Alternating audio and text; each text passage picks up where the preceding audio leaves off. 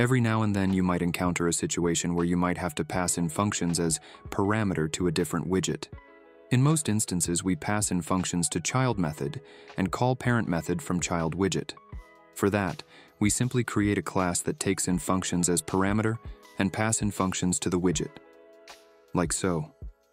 One example I can think of for doing this is you have products tile in your app, and whenever you click on a button, it basically calls parent widget and calculates the total cost, or other data. But what if you want to call child method from parent widget? Well, all we have to do is create a key of child widget state.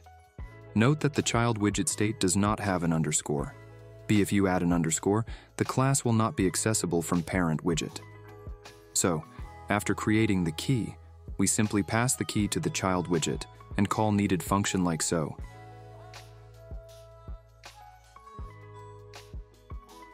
This can be done using BLoC as well, but this way is more short and simple.